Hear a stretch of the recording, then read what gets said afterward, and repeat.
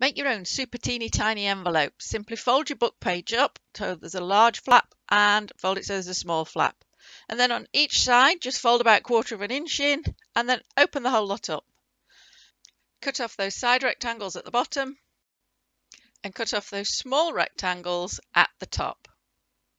And then you're ready to glue. You can use glue or double-sided tape and you're simply going to run it along those flaps that you made and then fold the large section up and you've formed your envelope.